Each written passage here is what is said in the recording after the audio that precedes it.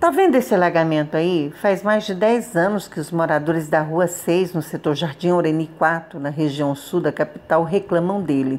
Em fevereiro desse ano, em pleno período chuvoso, eles enviaram um vídeo para o povo na TV para mostrar os problemas que essa água empoçada estava causando na vida de cada um deles. Olha aí, Marcão, essa é a realidade da Rua 6, Norini 4. A situação Olha a situação que tá. Se for uma chuvinha de 5 minutos e valia o dia todo.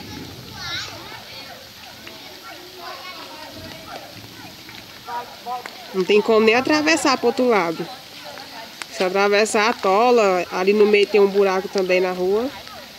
Olha aí como é que tá a situação. E fedendo. Quem tiver aqui tá sentindo a caatinga só de fossa. Oito meses depois, o problema continua. A produção do Povo na TV esteve no local e a rua continua alagada. Tem menos água, é verdade, mas o mau cheiro está lá. O entrevistado também é o mesmo. Voltamos a encontrar o seu José Augusto e ele relata que até hoje o poder público não buscou dar nenhuma solução para o alagamento. Realmente é um problema que há mais de uma década ele persiste, entendeu? Já fizemos várias reivindicações, mas assim o poder público não sequer faz caso algum. Nós estamos vendo aqui a realidade nesse momento, a situação que se encontra essa água que fica acumulada após a chuva, né? e assim um transtorno muito grande. Nós temos várias crianças, pessoas idosas nas proximidades e olha essa água que está, a maneira que está aqui, né? Então assim, nós chamamos até a atenção, porque isso aqui está sendo um caso já de saúde pública, né? Essa situação aqui, nós a cada ano que se passa, a cada período chuvoso, o transtorno ele só aumenta e o poder público nem sequer faz caso algum. Essa aposentada diz que as crianças da rua estão ficando doentes por causa do alagamento.